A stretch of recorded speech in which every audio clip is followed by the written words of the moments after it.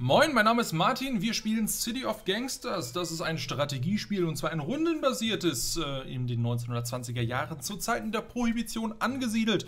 Wir spielen in Chicago einen aufstrebenden Mafia-Boss und äh, der muss sich darum kümmern, dass das Moonshine ordentlich verteilt wird. Soll heißen, wir äh, bauen natürlich unseren Straßenblock aus. Wir halten die Hand auf, denn wir wissen ja, Dinge können kaputt gehen und äh, so ein Unternehmen finanziert sich nun mal nicht von alleine und äh, ja, so kommt natürlich eins zum anderen und wir bekommen dann über... Ähm, ich sage jetzt mal, Umwege besorgtes, äh, besorgte Rohstoffe, äh, entsprechend Ressourcen, die wir in unseren Brauereien oder Destillerien letztendlich nutzen können, um das gute äh, äh, Nass letztendlich an das Volk zu verteilen und ähm, ich sage es mal, in unserem Truck hin und her zu schaukeln, bis es letztendlich an den Verbraucher kommt.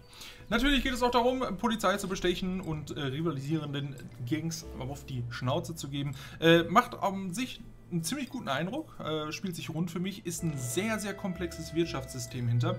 Ähm, ich möchte nicht sagen vergleichbar mit einem Port Royal oder mit, mit, mit, einem Siedler, weil es doch eher Rollenspielähnliche Charaktere hat und man natürlich sehr, sehr viel von A nach B selber verschiffen muss. Ähm, an sich macht es aber unglaublich viel Laune. Ähm, die Charaktere können jeweils auch hochleveln. Man hat Straßenzüge, die, wo man sagen kann, okay, pass auf, äh, der Cousin von Hast du nicht gesehen, der kümmert sich jetzt um diesen Straßenzug und dann muss man natürlich hin und wieder mal vorbeigehen.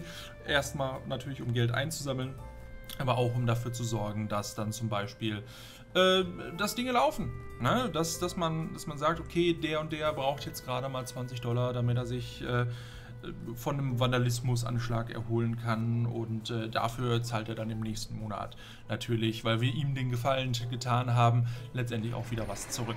Gefallen ist natürlich auch so eine Geschichte, die in diesem Spiel sehr, sehr ähm, ich sag's mal, groß ist und natürlich auch irgendwo so ein Stück weit bestimmt, wie man letztendlich Druck auf andere ausüben kann. Das heißt, man hat bestimmte Gefallen gut, wenn man sich um die Probleme der Leute kümmert.